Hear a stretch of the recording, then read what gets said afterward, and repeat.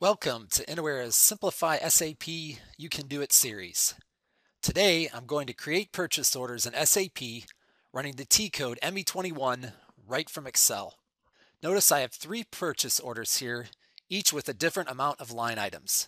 I'm going to click on the Process Runner Excel add-in tab, press Run, log into SAP, and now Innoware Technology takes over and does the rest. Notice my SAP messaging is written right to the Excel spreadsheet. Now let's take a look at this purchase order here. There you can see each of the line items. I was successfully able to create this purchase order. That's how easy it is for an end user to run ME21 right from Excel. If you want to learn more about how to simplify SAP, visit us at innowera.com and be on the lookout for more videos in this series. Thanks for watching.